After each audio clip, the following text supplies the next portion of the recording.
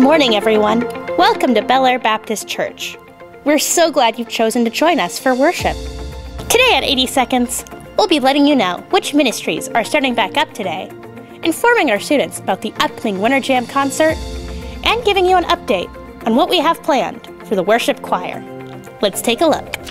After taking a break for the holidays, MFRO will resume at 4 p.m. today.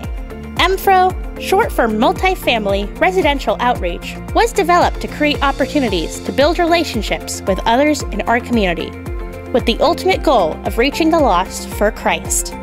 Also starting back up today at 5 p.m. is the Awana Children's Ministry. This outstanding Bible club teaches children about Scripture and trains them to hide God's Word in their heart. Hey, students! Next Saturday, January 14th, is Winter Jam, the annual multi group tour with nearly a dozen artists that's always outstanding. The concert lasts until 9:30, so be aware that we won't be home until 11. You must be signed up on the music board in the education building if you want to go. You won't want to miss this opportunity to listen to some great Christian artists and worship with your friends.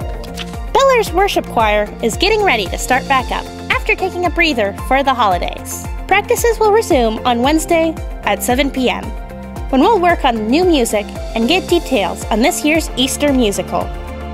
The worship choir is open to adults of all ages and levels of experience.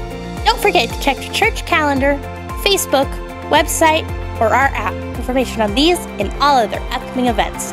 Or call the church office if you have more questions.